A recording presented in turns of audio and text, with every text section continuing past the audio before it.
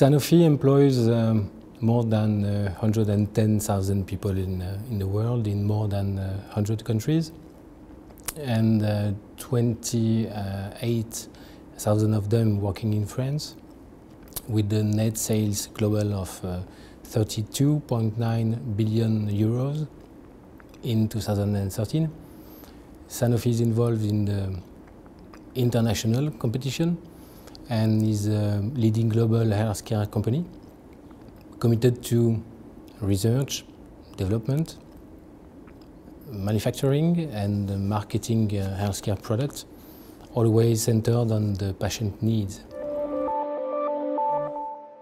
Lyon is one of the birthplaces uh, of life sciences and the first European manufacturing center for uh, vaccines.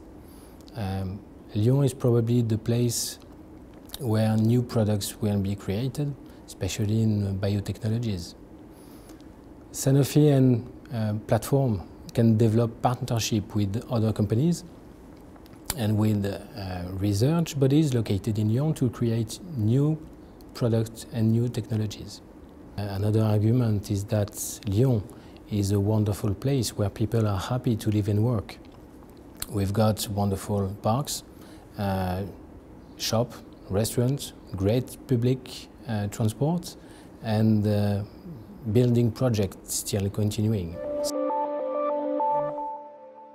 Lyon Biopole, um, of which Sanofi is a founding member, um, has labeled 135 um, projects since its creation in 2005 by uh, 670 million euros, um, allowing the creation of uh, more than 10 uh, startup companies and more than 200 jobs.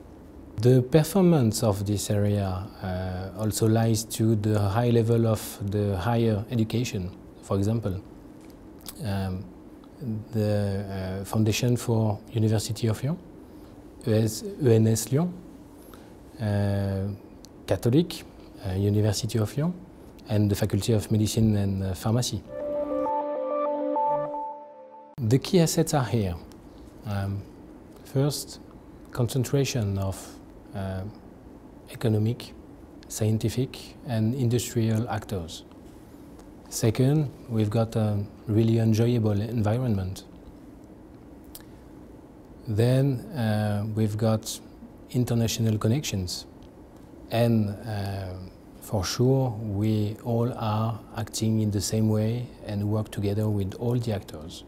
I could qualify this uh, biodistrict in three words, here for health.